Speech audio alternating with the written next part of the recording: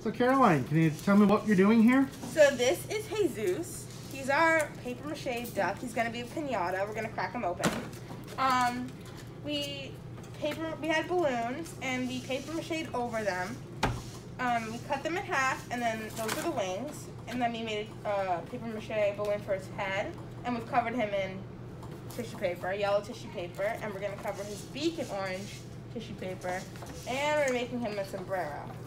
We're gonna glue these together and he's gonna have his own little hat. He's for the Mother Tongue Project.